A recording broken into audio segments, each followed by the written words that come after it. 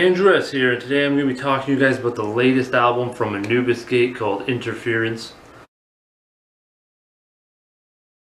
This opens up with Emergence. This is loaded with striking, powerful riffage, with Henrik, the vocalist, filling up the high ground and working some great melodies along with the guitar work. I really found some really nice, fine nuances within this song. I like the swaggering tempo too.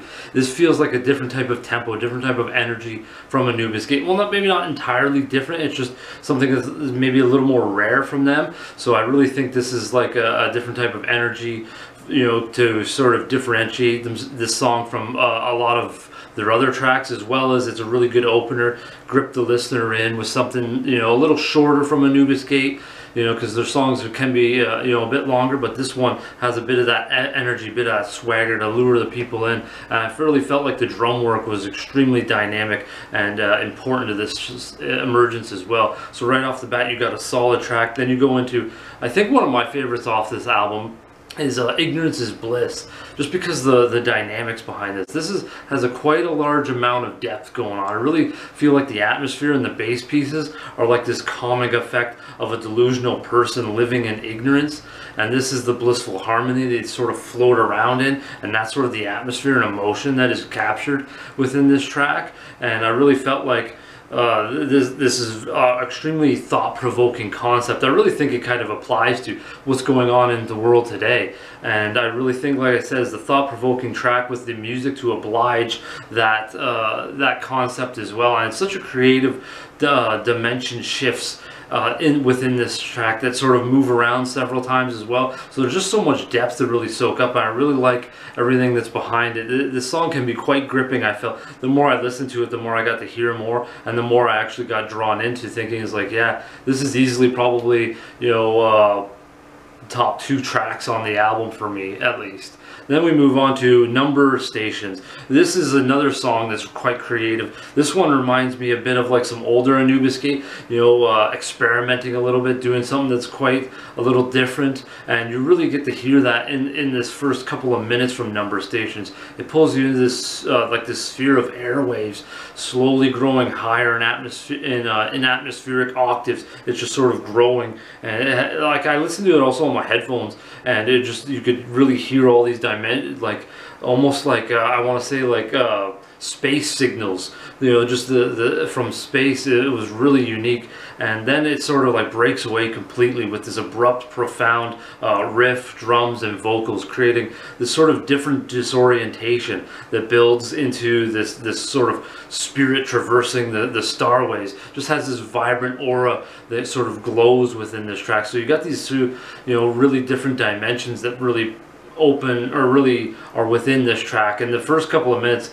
it really sets you off as like you're not quite sure what to expect but then it really changes in a completely uh, another direction for the good in my opinion. Then we got uh, another awesome track in my opinion that really grows differently and expands as the, as the song goes on. It's called the phoenix this evolves into uh, different layers adding to each other and it starts off almost like I want to say like 80s pop 80s rock pop it just has this different type of energy and it's really reminds me of something from the 80s. Uh, with, you know, but with each uh, addition, the Phoenix becomes more powerful, which I kind of think kind of applies to the theme of the Phoenix, how it rises. And I really feel like every instrument sort of is like the rebirth of the Phoenix. So that kind of maybe applies to the song title here. Uh, you got more emotions that sort of arise and come within this track. Uh, the music and lyrics come alive, giving such inspiration. I really like the heights of this track. Uh, you uh, you got these high octaves and melodies that really illuminate this song and uh, the album as well. It's a really standout point or part not only of the Phoenix but this entire album. I felt like it was just this. You know, you're just so if you're just gradually listening to the songs, this is something that really leapt out at me because of just the the high uh, vibrancy of it, the the high emotions, the octaves, the melodies, just everything that was captured in the Phoenix is really cool. Then we move on to equations. This one is cool, I, I think, for its direct force, direct riffs and drum work. Just a solid, heavy prog metal song or prog metal track uh, the, I like the direction that it's it's you know moved away from the complexity a little bit. Like Anubis Gate had all these experimental, complex, you know, prog, progressive elements and depth that they wanted to do, and then Equations is just like, uh, let's just go and throw something straight at you, something direct, nothing you know to overthink too much about, but it has its nuances still, and that's what I like. It has its uh, uh atmosphere and emotions as well. Like it has this sort of attitude and uh, anger uh, uh, upon this in, in this track that's a little different, a little more direct, a little more forceful, and that's something that I, I don't know if you necessarily hear that too much from Anubis Gate, but you definitely felt, I definitely felt it in Equations. Then just as I'm saying, like Anubis Gate has this direct song, you know, not overly dynamic and stuff like that.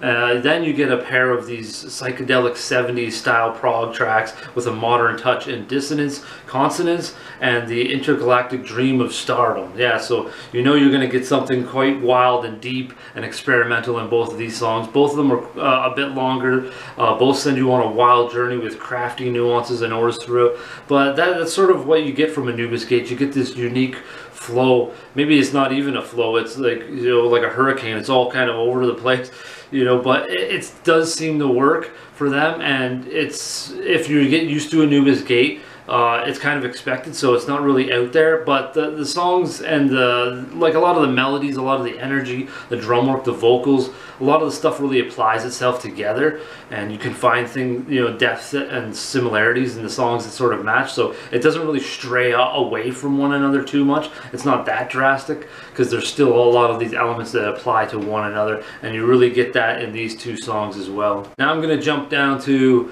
uh, the last track I'm going to talk about on this album just because I'm not going to spoil the whole thing. I've been talking about this album quite a bit, but this is one I highly recommend, World of Clay. This is a great energetic pace. I love how the rhythm and drums rumble uh, during the chorus and how Henrik's vocals play right into the tempo.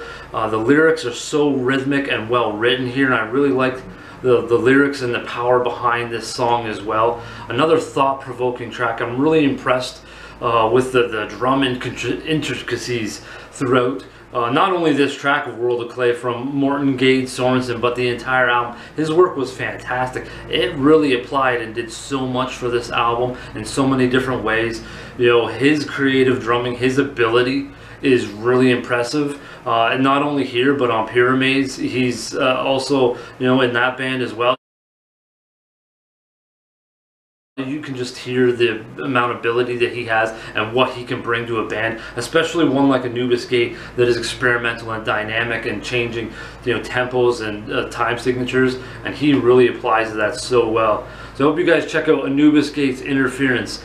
This one, the more I got to listen to, the more I got to hear uh, more melodies and intricacies and nuances and stuff like that, and the more it really started to, to hit home with me, and I really got to enjoy it. Can't wait to get this album, and I hope you guys check it out. All the links, of course, will be in the description below for you guys to check out the songs and, and uh, my other channels and stuff like that. So until next time, folks, how about some heavy listening?